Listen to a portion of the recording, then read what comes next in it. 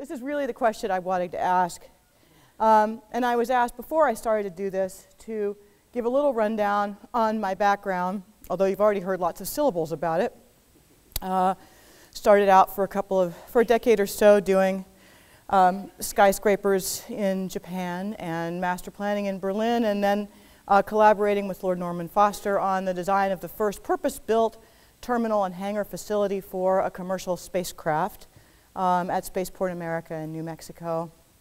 Um, we did, here's some of the orbital vehicles that we've done, uh, proposed a module for the International Space Station, um, the first space inflatable habitation module, a commercial orbital station, and some surface stuff. Surface stuff. Uh, and then, you know, inevitably, I get dragged into doing cabin architecture, seating, lighting, et cetera, for actual spacecraft, which was a little bit amazing to me. I had never really thought I would be reading up on avionics, canards, drag, you know. Uh, but there we were. We were doing some of that and learning that basically the number one thing we had to do with the challenging design was throw out any assumptions we made about it. So, for example, a seat is not a seat at all. It's got nothing to do with sitting. When you're coming in at 13 G's and the plus Y, 9 G's and the minus Y and 6 G's right up your butt, sitting is not the problem. Okay. um, and we've been able to convert a little bit of those ideas into uh, some more familiar things, like we were asked to do a revision of the hospital bed by Metropolis Magazine. I'm still trying to partner with somebody to get it prototyped and out there, so if anyone's interested, I know we're not supposed to do that. Oh, no. um, birdhouses, and most recently, I've been actually designing textiles and garments. So why not, right? It's much nicer to be able to do something that doesn't have to go up to the White House level for clearance every time you want to change color. but what we're here in Houston to talk about today, what's particular about Houston in this talk, uh, we're looking at a part of right here. This photograph, I was four when it was taken. I know I'm dating myself, but that's all right. You can find all that information whenever you want to. Christmas Eve, 1968. This is the first time in our awareness that a part of the Earth's biosphere was able to get away from it far enough to take a picture of our whole planet from another body. Seven months later, a couple of us walked on the surface of that body, and the first word they said was? That's right. You know how many Americans were employed at that time by the space program? 400,000.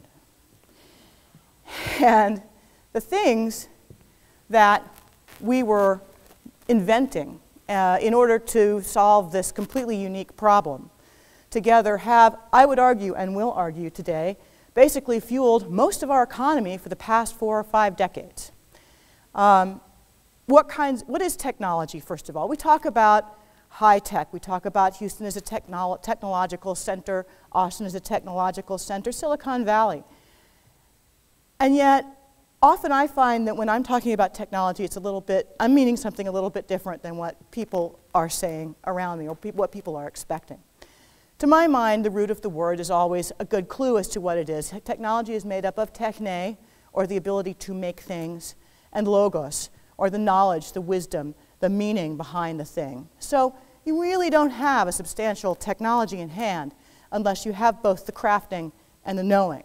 Um, and it's not a new argument to make that this country is officially, formally, economically, no longer a making economy. By offshoring all of our making, uh, we are depriving ourselves, perhaps, of a critical part of that issue in inventing a new technology. Without the techne, what are we really producing? Um, Large-scale R&D efforts on the private sector, Bell Labs, Xerox PARC, these things are gone um, the kind of massive investment by the government in things like the Apollo program, which created an extraordinary wealth of national intellectual capital, is basically drying up. Um, meanwhile, there is a vast maker revolution in this country. I'm sure a lot of you are familiar with it, what's going on in the sort of handmade nation universe and Etsy.com and people making things, and yet it's kind of unplugged, right? It's not really a part of our formal economy. Most of these fabulous makers of whom we may be fans, probably aren't really making a living or they don't need to make much of a living at this point. Um, and so, and yet things are, in, things are in the doldrums, even though in theory, and as we see in practice in small areas, like the wonderful things we're seeing happening in the city of Houston, um, we do have the stuff to get out of it. My concern, and usually I'm the person that gets to come to the conference and go, you guys have no idea what fabulous things are going on, right? Today I'm not that person. Sorry, you've already heard a lot of fabulous though, right? You've had a lot of, you know, the sugar coating. So, um, but the thing that troubles me, okay, and this is the part where you listen like the plane's going down, because it is, okay, is how does a democratic republic conduct great projects? I think about this problem when I'm designing a fork. I think about this problem all night long. I think about this problem when I put a bag clip in my daughter's hair to hold it up. No nation in the history of, earth, of the earth has failed to conduct great projects and remained significant.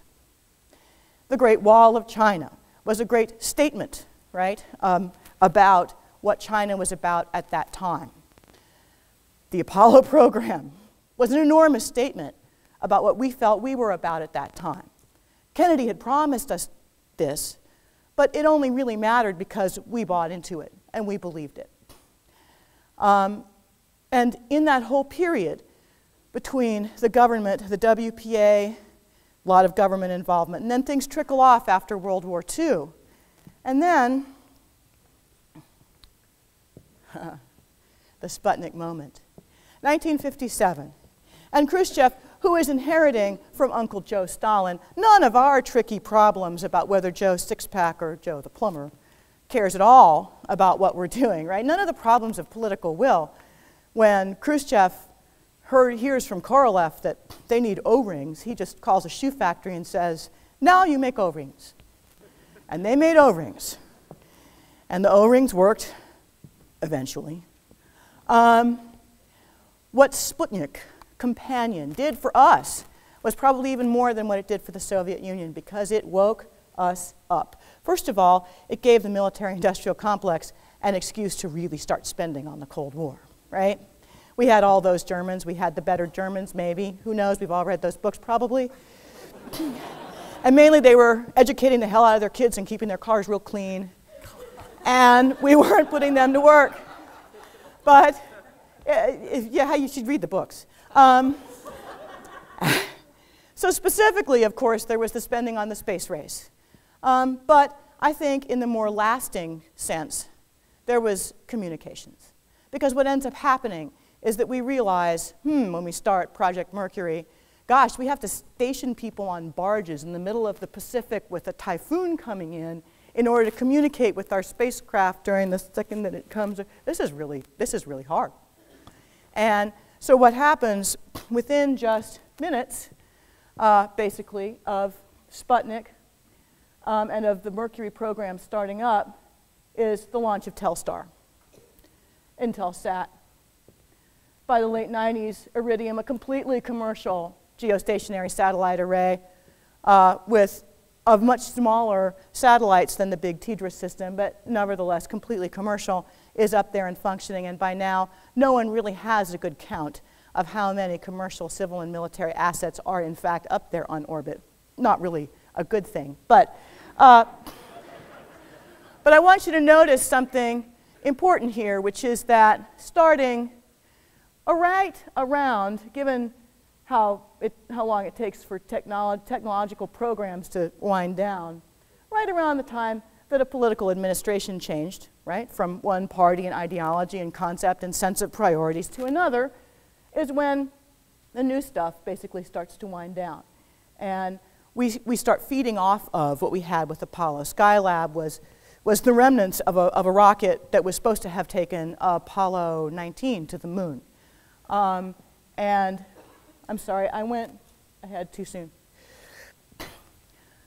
Um, around 1968, when we were still doing all of this and we were, we were funded like crazy, we started the design of the, what was to become the space shuttle. And the guys who had been the chief engineers on Mercury, Gemini, and Apollo were leading this program. And this program, nonetheless, and in that atmosphere, partly because of funding reduction, but partly because of the complexity, took 12 years to get the first one launched. Okay? This matters a lot because of what we're dealing with today. When we start to slow down and look at what it takes to replace the space shuttle, I myself personally have worked on one, two, three of the efforts that have started in the 90s, but really heated up in the past decade to replace the space shuttle. They may have had various engineering benefits or drawbacks, different vehicles, you know, different, different applications, but what killed each of them was politics. And in fact, I would strongly follow ancestors of mine who started the first Tea Party in defending to the death the rights of all the people and their representatives to have a determination in what we spend our money on. But we're never going to get to Mars like this. Okay? I mean, what was the most amazing thing to me when I came to NASA was to realize that we actually knew what it would take to go to Mars. Really? We do. And it'll take about 20 years. It'll take about 20 years of continuous funding at a near Apollo like level. But look at what we get out of it we get communications, we get the internet, we get software.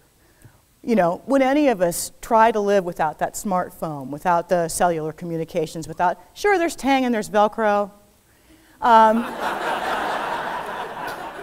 but we all know that those were in fact invented by like nutty garage inventors, right? Who had the stuff out there, but nobody was buying it. And then NASA turns up and goes, hey, actually, we need something that's kind of like orange juice but powdered.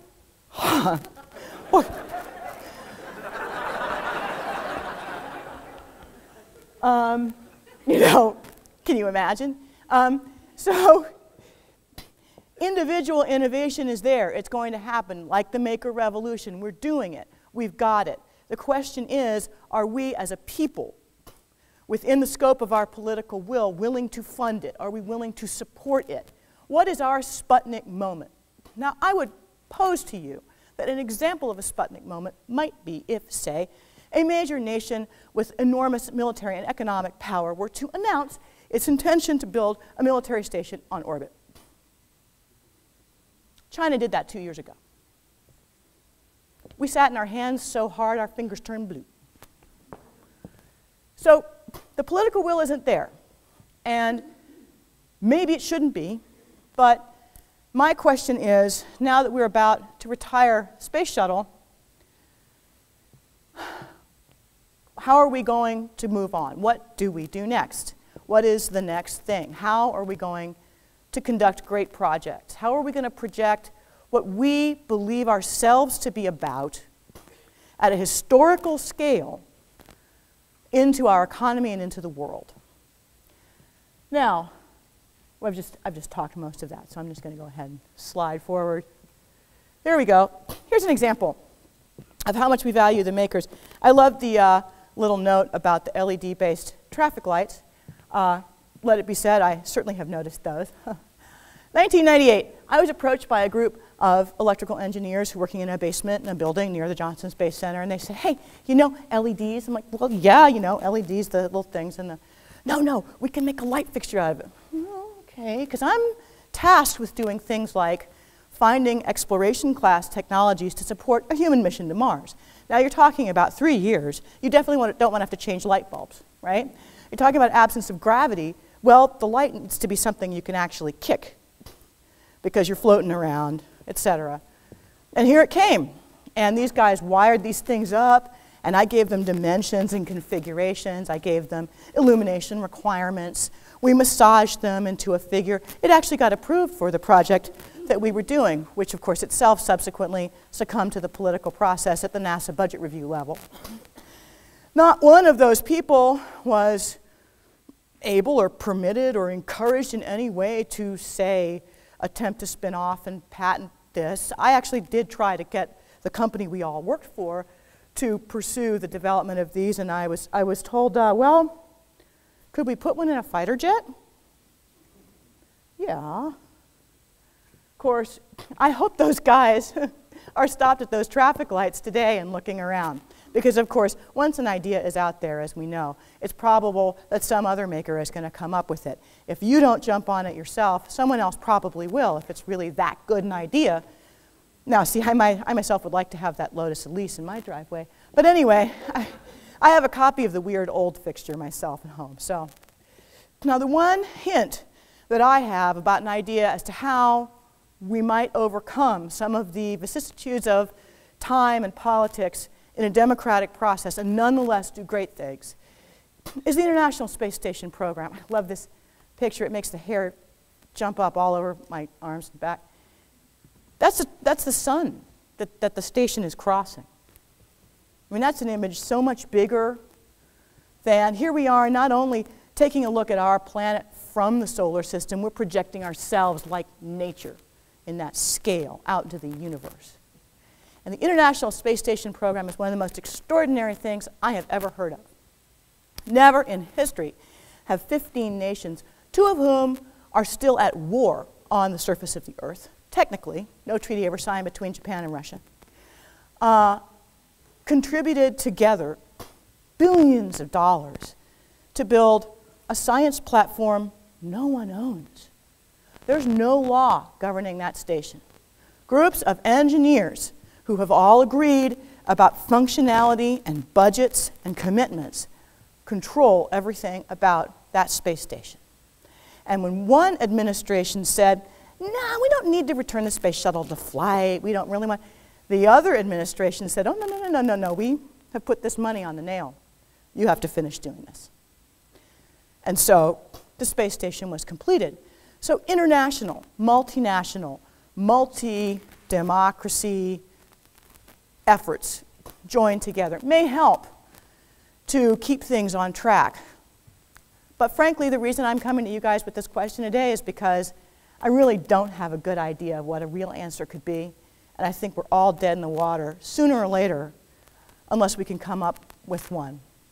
And uh, because literally, this plane is going down. This is the Space Shuttle Atlantis, also transiting the sun last year. And in a couple of weeks, she'll do so for the last time. And then she'll come home. And she'll get taken apart and given to the Smithsonian. And we will no longer be a spacefaring nation. See, that's it. That's my bummer talk.